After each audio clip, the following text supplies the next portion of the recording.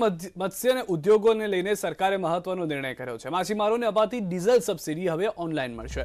હવે માછીમારોના ખાતામાં સીધી જમા થશે સબસિડી. અગાઉ બિલો મેન્યુઅલી ચૂકવાતા હતા. મેન્યુઅલી પ્રથામાં સમય પૈસાનો બગાડ થતો હતો.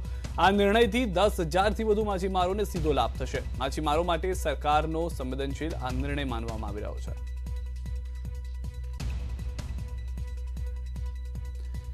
આ પહેલા મેન્યુઅલી બિલ મૂકવામાં આવતા હતા. બિલ મૂક્યા બાદ જે પણ નાણાં છે તેને આવવામાં સમય લાગતો હતો. પરંતુ હવે જે સિસ્ટમ છે તે પ્રમાણે ઓનલાઈન પોર્ટલ ઉપર જ ડીઝલના બિલ મૂકવાના રહેશે અને જે પણ સબસિડી છે ડીઝલ ઉપરની તે સીધા જ એ માછીમારોના ખાતામાં જમા થઈ જશે.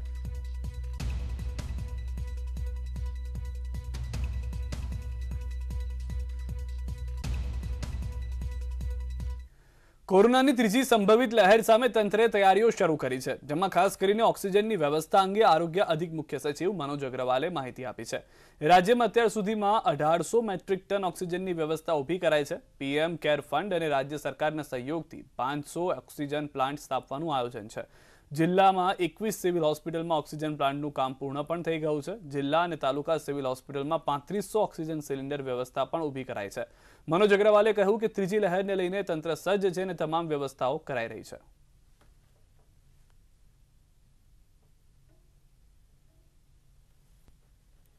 રાજ્યમાં અંદાજિત એકસો ચોપન કરોડના ખર્ચે વધારાના લિક્વિડ ઓક્સિજન ટેન્ક પછી પીએસએ પ્લાન્ટ અને જે એના માટેના જમ્બો સિલિન્ડર અને નાના સિલિન્ડર અને સાથોસાથ ઓક્સિજન કન્સન્ટ્રેટર એ બધાની વ્યવસ્થા સાથોસાથ ચાલી રહી છે.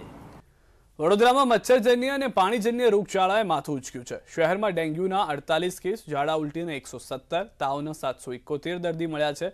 એસએસજી હોસ્પિટલમાં ઓપીડીમાં એક દિવસમાં પાંચસો ને પંદર દર્દી નોંધાયા હતા. રોગચાળાના વધતા કેસને ધ્યાને લઈ પાલિકાની વિવિધ ટીમો દ્વારા ચેકિંગ પણ હાથ ધરાયું હતું.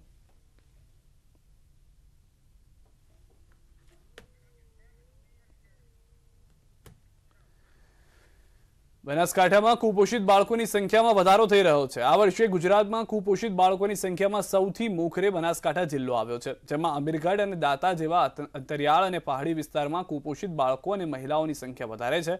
આરોગ્ય વિભાગના મતે અંતરિયાળ વિસ્તારમાં રહેતી મહિલાઓમાં શિક્ષણ અને જાગૃતિનો અભાવ છે, જેને લઈને તેઓ સરકારની સહાય લેવાને બદલે રૂઢિચુસ્ત માન્યતાને પકડી રાખે છે. સગર્ભા માતા અને બાળકને પૂરતું પોષણ મળી રહે તે માટે સરકારે કસ્તુરબા પોષણ સહાય યોજના અને આઈસીડીએસ યોજના અમલમાં મૂકી છે. તે ઉપરાંત પણ ઇન્ટિગ્રેટેડ ડેવલપમેન્ટ યોજના અમલમાં છે.